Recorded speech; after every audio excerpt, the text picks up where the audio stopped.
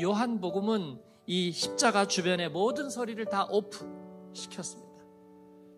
그 대신에 예수님과 그의 사랑하는 사람들에게 화면을 집중하고 있습니다.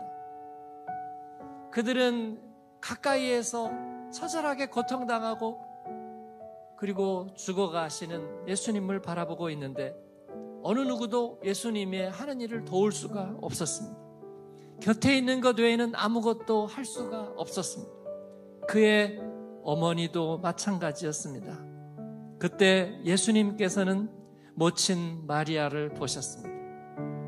말할 수 없는 사랑과 긍휼로 그 어머니를 보시면서 여자여 라고 부르셨습니다. 그리고 자기의 사랑하는 제자 요한, 그 요한을 가리키면서 보소서 아들이니이다.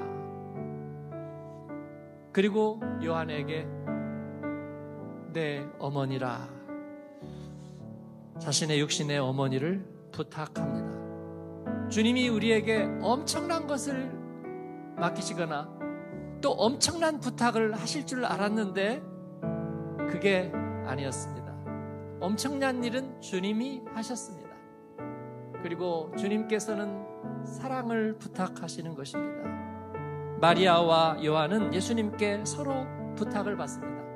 사랑의 과제를 받고 그리고 이를 통하여 위로를 얻습니다. 주님은 우리에게 사랑을 부탁하십니다. 두려워 말고 염려하지 말아라. 그리고 내가 서로를 부탁하노라. 그렇게 말씀하시는 것입니다. 우리가 주님을 위해서 할 수 있는 일은 없습니다. 주님이 우리를 위해서 하셨습니다. 십자가 곁에서 주님은 우리를 바라보게 하시고 주님의 우리에게 사랑을 부탁하십니다. 그러면 되는 것입니다. 사랑하는 여러분, 나를 향한 예수님의 상처가 바라 보일 때까지 예수님의 곁에 가까이 나아가십시다. 나를 향한 그의 눈물이 보일 때까지 예수님을 바라보십시다. 우리를 긍휼히 여기는 그의 시선과 마주칠 때까지 주님 곁에 나아가십시다. 그의 입술에서 흘러나오는 사랑의 음성이 들릴 때까지 귀를 기울이십시다.